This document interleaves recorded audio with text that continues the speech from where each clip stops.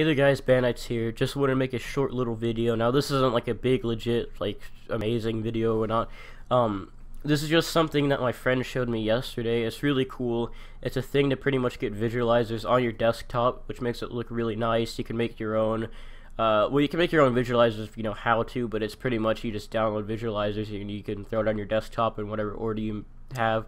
So I'm going to show you mine. I'm going to play a song in the background, song within description, and besides the visualizers, you can make buttons like this, like Twitch, uh, Reddit, CPU, Steam, YouTube, all that.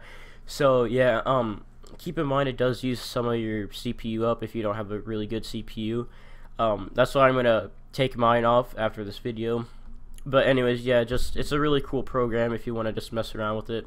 Uh, I'm not gonna go into detail on how to do it. That's Chad made a tutorial for that so you can go check out his video. Just click the annotation at the top right or you can go to the description and go to his channel.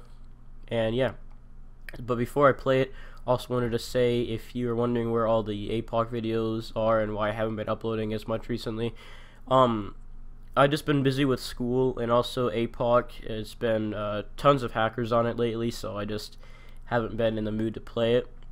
Um but last night I was on the Reddit. Someone made a post. They're freaking out that the update came out for APOC to fix hacks and whatnot.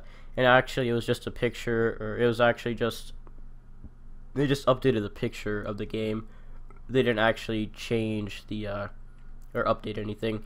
But then one of the mods actually put in the comments, which you'll see on the screen now.